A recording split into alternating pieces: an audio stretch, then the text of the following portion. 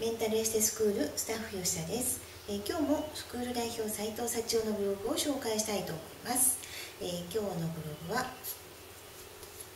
い、えー、自分をもっと好きになるポイント1今日のタイトルは認めるというタイトルです、え誰しも完璧な人なんていません。えー、まずは自分のダメなところもめてあげるところから始めませんか？ということが書いてあります。よかったら、えー、ブログをお読みください、はい。えー、ブログは斉藤幸男アメブロで検索してください。セラピスト養成に興味のある方はメンタルエステスクールで検索してください。